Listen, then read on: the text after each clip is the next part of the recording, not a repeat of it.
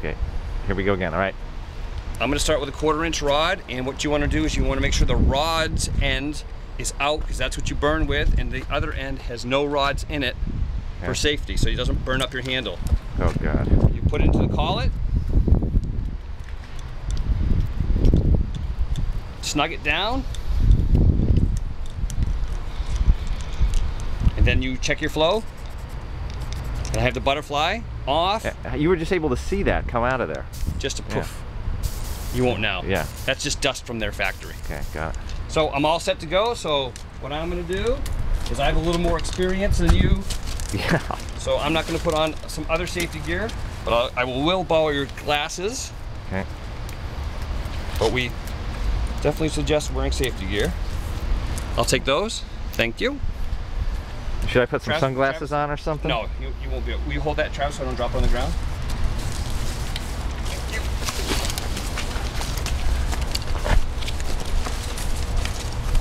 And we don't need sunglasses. Why?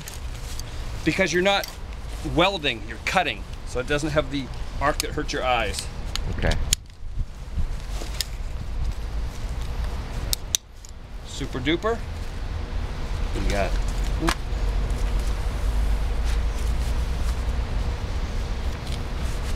Okay, so I'm just gonna come over to the igniter.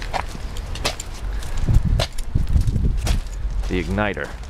So we have a battery pack here with welding leads, a striker plate. Mm-hmm. Well, all you simply do is make sure you have a little bit of flow, you can hear it, or a lot of flow. I'm gonna dial it back a little bit, and I'm just gonna gently rock this back and forth.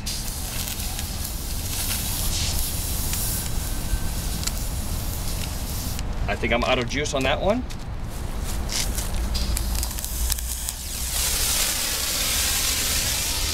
And I'm gonna simply keep the tip in. Easy. You'll be fine.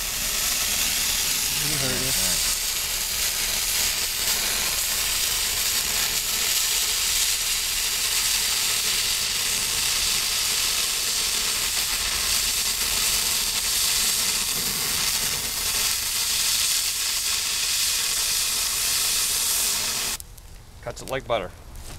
Good lord.